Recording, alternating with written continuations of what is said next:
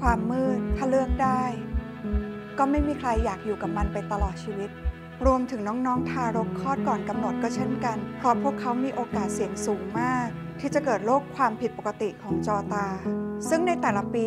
มีเด็กๆที่ควรได้รับการรักษาปีละ 4,000 คนจากทั่วประเทศทำให้ตอนนี้ อุปกรณ์ในการรักษามีไม่เพียงพอ แต่ถ้าวันนี้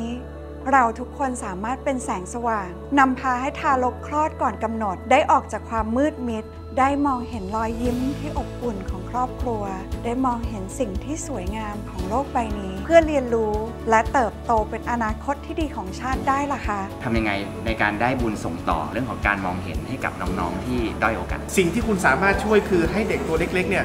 สามารถเห็นแสงสว่าง เห็นรอยยิ้มของคุณแม่ ซึ่งทาง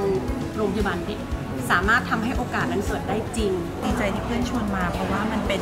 เรื่องเราเป็นบุญที่ยิ่งใหญ่มาก การที่ช่วยให้เด็กได้มองเห็น โรคความผิดปกติของจอตาในทารก คลอดก่อนกำหนด เป็นสาเหตุอันดับหนึ่งของการตาบอดในเด็กไทยค่ะ ไม่ใช่ว่าเด็กทุกคนจะมีโอกาสสบตากับพ่อแม่อันเป็นที่รัก การดูแลรักษาผู้ป่วยเด็กที่เป็นโรคความผิดปกติของจอตา หรือ ROP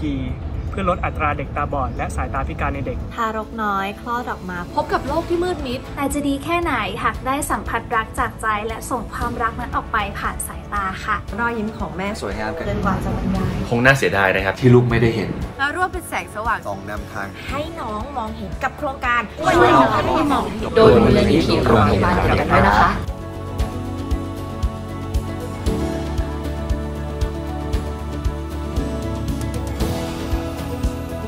ลิต้าขอเชิญชวนทุกท่านมาร่วมกันบริจาคเงิน เพื่อจัดซื้ออุปกรณ์ทางการแพทย์สำหรับการรักษาโรคความผิดปกติของจอตา